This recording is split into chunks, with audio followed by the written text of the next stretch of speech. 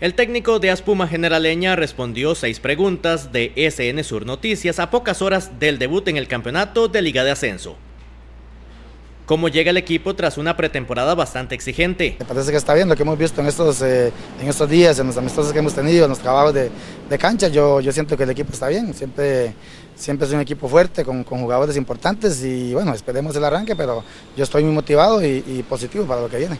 ¿Qué opina del rival de este sábado? Todo siempre ha sido un equipo difícil, es una cancha difícil, pero eh, creo que nosotros eh, ya conocemos al rival, ya conocemos la cancha y, y esperamos eh, ir allá por los tres puntos. Los aficionados se preguntan qué tanto se renovó el equipo generaleño. Mucho, hay muchos jóvenes, sí, hay, hay varios muchachos jóvenes de, de, un proceso que teníamos ahí, que tienen como cuatro años trabajando conmigo.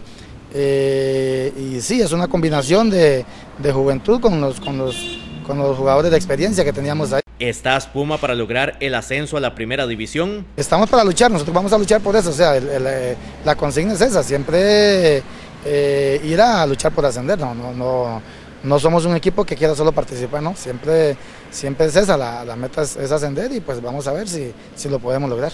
Un nuevo campeonato y con un nuevo formato, el técnico no está muy satisfecho. Yo, como te digo, veo un formato un poco diferente, hay que darle el beneficio de la duda, a ver qué tal. En lo que a mí respecta, vuelvo a repetir, me gustaba más el de dos grupos, eh, había más rivales que, que enfrentar. Eh, eh, estilos diferentes, eh, sistemas diferentes. ¿Y qué tal los rivales del grupo? Cotobruz, Escasuseña, Sporting San José, Osa y Jacorreis. Todos, nosotros siempre hemos respetado a todos los rivales y, y a partir de ahí eh, trabajamos, ¿no? ¿no? Vemos a ninguno, no menospreciamos a ninguno, ¿no?